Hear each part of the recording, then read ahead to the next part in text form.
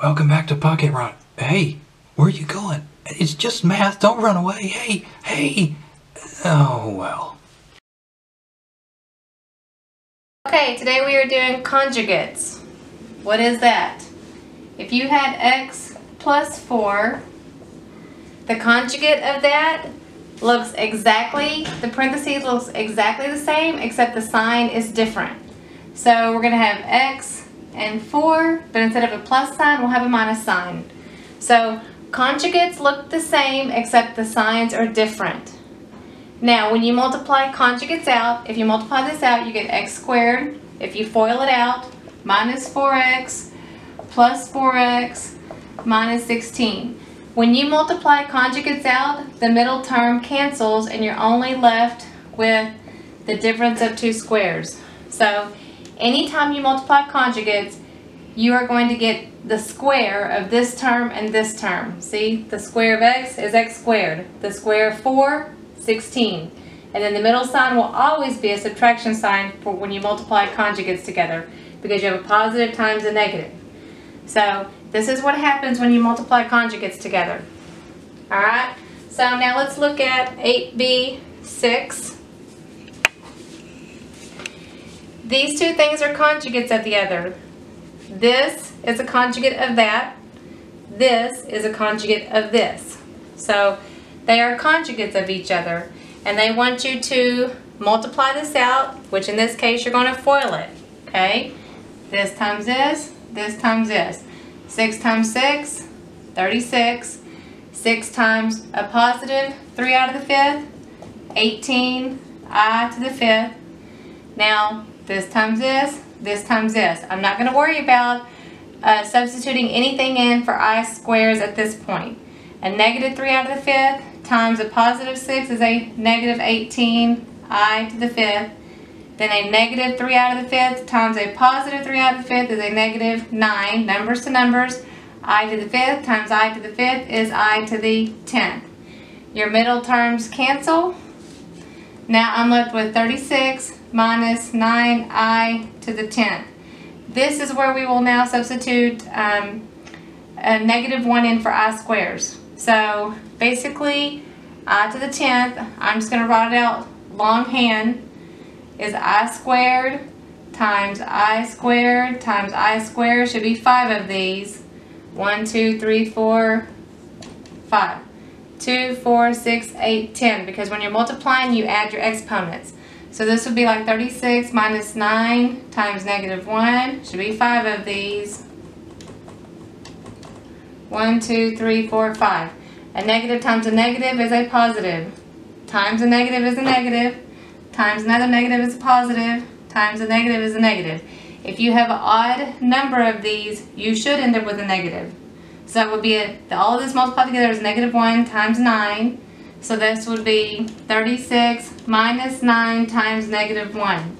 Now you have a negative 9 and a negative 1, which will become a positive. Now add those together, 45. Seems very strange to multiply these two parentheses to get a whole number of 45. When you have an i in your parentheses and you multiply conjugates, your i's will go away because you end up with squaring these and then you can replace it with negative 1. You will see why conjugates are important here in just a minute. Why it's important for the i's to go away. Same here, look at 8b8. When you multiply these conjugates, your radical is going to go away. Okay, this will be important here in a minute. So again, these are conjugates. They look exactly alike except the signs are different. Now we're going to multiply these together, FOIL them out. 4 times 4, 16. 4 times a positive 5 square root of 2 will be a positive 20 square root of 2. Negative 5 square root of 2 times a positive 4 is a negative 20 square root of 2. And negative 5 square root of 2 times a positive 5 square root of 2 is a negative 25 square root of 4. Numbers to numbers, radicals to radicals. Your middle terms go away. They should when you multiply conjugates. Then you have 16 minus 25. I'm going to go ahead and simplify square root of 4, which is just 2. So now you have 16, 25 times 2, minus 50. 16 minus 50, that would be a negative 34, I believe. 4 plus 6, 3 and 4 is 5, yes. Negative 34. So do you see how your radical went away? When you multiply, when you have conjugates where you have um, a number and a radical, your radicals will go away. They should go away. Because if you look at 8a14, you now have this problem. Why do we learn conjugates? Where are conjugates useful? In math, remember you cannot have a radical in the denominator. Here, it is not enough just to multiply everything by a square root of 8. Because if you notice, when you distribute, you will still have 8 times square root of 8. You will still have a radical in your denominator if you just multiply by only square root of 8. When you have a number added or subtracted to a radical, this is where you use the conjugate. Before now, you only had a radical like this in the denominator. Now you have a number added or subtracted to a radical, and here is where you use the conjugate to get rid of the radical. So we multiply by the conjugate of this. The conjugate of that looks exactly the same, except the sign is different. The numbers and the radicals are the same. Okay, I can put this in parentheses. Whatever I do to the denominator, I have to do to the numerator. If I'm going to multiply the denominator by the conjugate, I have to multiply the numerator by the conjugate. Now, I'm just multiplying fractions. Numerator to numerator, denominator to denominator. In the numerator, that 8 gets distributed. 8 times 8, 64. 8 times a positive square root of 8 would be a positive 8 square root of 8. Now we have to FOIL out the denominator. These are conjugates. When you multiply conjugates together, your middle term should cancel. Basically, you are squaring the first term and you are squaring the last term with a subtraction sign in the middle. Okay? If I multiply it out, 8 times 8, 60, 64, squaring the first term. Then the next term would be 8 square root of 8. The next one would be 8 square root of 8, but negative, so those cancel. They should. Then a negative times a positive is a negative, and square root of 8 times square root of 8 should just be 8, but I'm going to go ahead and write it as square root of 64. Now let's see, is there anything we can simplify in the numerator? No, I can't combine a number to a radical. So I'm just going to rewrite the numerator. In the denominator, those canceled. I have 64 minus square root of 64 is 8. Okay, I now I'm going to combine my numbers in the denominator. 64 plus 8 square root of 8. 64 minus 8 uh, 56. Just make sure I did that right. That should be 64. Okay, now you look to see, can I reduce my whole numbers by the same thing? Yes, I can reduce each one of these numbers by 8. So if I reduce 64 by 8, that would be 8. Dividing this by 8 would be just 1 square root of 8, and you don't have to write the 1. All over, dividing this by 8 would be 7 and this would be your final answer. You cannot simplify it any more than that. Okay, I only thought this was a simplified answer. It's not. So the other thing that you look for is can you simplify your radical? Yes, that can be simplified. Square root of 8 can be broken down into square root of 4 times square root of 2 because this is a perfect square. So then that would become 8 plus 2, square root of 4 is 2, and then you still have a square root of 2 all over 7. So always look to see, can you reduce the whole numbers and you can you simplify the radical? This is the final answer because I cannot reduce these numbers anymore either. Okay, let's look at 8b16. You have i in the denominator and a radical. In the world of math, you cannot have a radical in the denominator, nor can you have an i in the denominator. The way you get rid of imaginary numbers or radicals in the denominator is by multiplying by the conjugate. So anytime you have an i in the denominator, use the conjugate. Anytime you have a radical in the denominator, use the conjugate. It will get the i's and the radicals to go away. Remember, the conjugate looks exactly like this, except the opposite sign. So the conjugate would be 2i minus i square root of 3.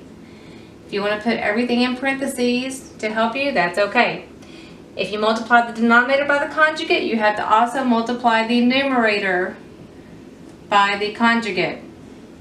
Okay, now it's just a matter of multiplying fractions. So in the numerator, you have to distribute this 5i to everything. Okay, I'm going to come down here to this next step. When I distribute 5i, 5i times 2i, 10i square. Numbers to numbers, letters to letters. Minus 5i times that would be 5i square, square root of 3. Numbers to numbers, letters to letters, radicals to radicals. It's like there's a 1 in front of here. So 5 times 1 is 5. There's no radicals here to multiply to the square root of 3. Okay, now in the denominator, I am going to do this one the long way, and the next problem I'm going to do the shortcut way. When you multiply conjugates, your middle terms cancel. So basically you would have square this term, square this term, and then put a subtraction sign in the middle. But let's go ahead and FOIL this out. 2i times 2i, 4i squared. 2i times a negative i square root of 3 will be a negative 2i squared square root of 3. Then this one will be the same thing but a positive 2i square root of 3 because those terms should cancel. Now you have a positive times a negative which is a negative i squared square root of 9. Those cancel. Now everywhere we see an i square we are putting a negative 1. Right here, there's a negative 1. Right here, there's a negative 1. Right here, there's a negative 1. Negative 1. Okay, so let's rewrite this. So this would be 10 times negative 1, which is negative 10. This is going to make this whole thing negative, and then this is a negative. Negative, negative, now becomes a positive 5 square root of 3. Negative 5 times a negative 1 is a positive 5. Okay, that's our numerator. Then our denominator. 4 times negative 1, negative 4. These terms canceled. Negative 1, so here we have negative. Square root of 9 is just 3. That negative i squared got replaced with this negative 1. Remember, the i's should go away in denominator. We should not have any i's. In the numerator, I cannot combine these two terms. I can't combine numbers to radicals. Negative 4 minus 3, I'm in debt 4. I'm in debt 3 more. Negative 7. Okay? I cannot reduce any of my numbers by anything, and I cannot simplify this radical. The one thing I am going to do is I'm going to reduce everything by a negative 1. I'm going to pull this negative out so it cancels with this. Okay? Basically, I am factoring a negative 1 out of the top. So if I factor a negative 1 out of the top, I will get a 10 minus 5 square root of 3. If I went back and distributed, I would get a negative 10 and then a plus. And then I would have a negative 7. So this negative cancels with that negative. So basically I should have 10 minus 5 square root of 3 all over 7. It just doesn't look very pleasant with all those negatives out in front. Okay, I've made a mistake in this problem that I've noticed, so I'm just going to go back and correct it from my mistake so you guys can see I'm not perfect. So this is not the correct answer, so I'm just going to erase this. So I missed a sign to show you how easy it is to miss a sign. Up here, I have a negative and then the i squared would be negative 1. So essentially, if I, if I erase it and write it better, negative 1. That i squared became negative 1, I have a negative in front. A negative times a negative is a positive. So jump down to here, this should have been a positive sign. Square root of 9 is 3, so that is all still good. So now my denominator became negative 4 plus 3, so this should have been a negative 1. Okay? I still can factor out a negative like I was doing before. So factor out a negative 1 from the numerator, which would leave me a 10 minus 5 square root of 3. Because it's generally not good to leave your negative 1 in the denominator like that. all over negative 1. Now that negative 1 and that negative 1 cancels, and you just have 10 minus 5 square root of 3. That's how easy it is to miss a negative Okay, sign. let's look at 8b15. Okay, we have this and we have a radical on the bottom. So we have a radical that's being added to a number. When you have a number, plus or minus with a radical, you use the conjugate for it to go away. Okay, so the conjugate of the denominator. These two things, yes, are conjugate, but I need to multiply this by the conjugate. It's the conjugate of the denominator. The conjugate of this looks exactly the same except the opposite sign. Okay? We want the conjugate of the denominator. Whatever we do the denominator, we have to multiply the same thing by the numerator. I'm going to put everything in parentheses because it reminds me I am multiplying. Okay, so let's FOIL out the numerator. You will not have terms that cancel on the numerator. Okay, only when you are multiplying by opposite signs do you have terms cancel out. So be careful when you FOIL this out. When you FOIL this out, you will not have anything that cancels. 3x times 3x, 9x squared. 3x times square root of 2 would be plus 3x square root of 2. This would be plus 3x square root of 2. Now your last terms, positive square root of 2 times a positive square root of 2 would be a positive square root of 4. That's everything in the numerator. Now, I'm going to do the quick way of the denominator. Denominator, you square both of these with a subtraction sign in the middle. So if I square 3x, 3x times 3x, 9x squared. My middle terms will cancel and then I have a negative times a positive, which is a negative. Square this one, square root of 2 times square root of 2, square root of 4. Okay, that's the shortcut way. In the numerator, what will combine? Nothing combines with my 9x squared. I have a 3x plus a 3x. I have 3x of these plus 3x of those, which is plus 6x of those. And then plus square root of 4, square root of 4 is 2. Okay, 9x squared minus square root of 4 is 2. Now I'm going to look to see, can anything combine? 9x squared cannot combine with this, and it cannot combine with the whole numbers. A 9x squared cannot combine with the whole numbers. I cannot reduce all my whole numbers by anything. We're looking at 9, 6, 2, 2, and 9. Those all don't simplify by anything. I cannot simplify my radical. There's nothing else I can do. I do not have a radical or an imaginary number in the denominator, so my denominator is safe. I can have an x squared in the denominator. I just cannot have a radical or an i. So I am good. So that is as simplified as this would go.